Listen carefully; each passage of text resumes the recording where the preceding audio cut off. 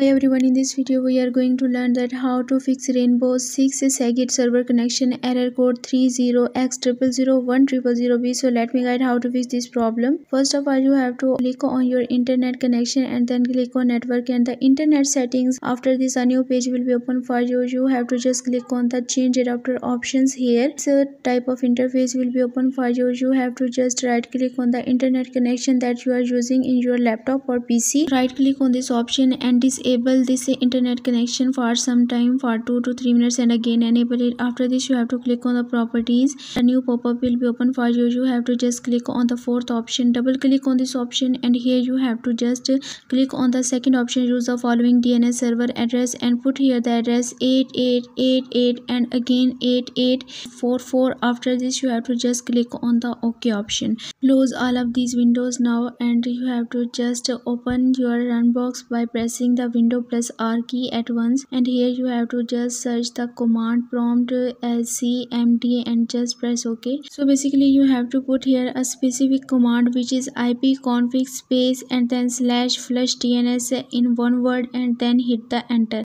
After this you have to put an other command which is net sh and then space winsock then space and then reset and then hit the enter again. After doing so you have to just close the page and then you have to just restart your pc after restarting your pc your problem will be resolved successfully. So guys that's all for this video. Give this video thumbs up and also subscribe my channel. Let me guide. Thanks for watching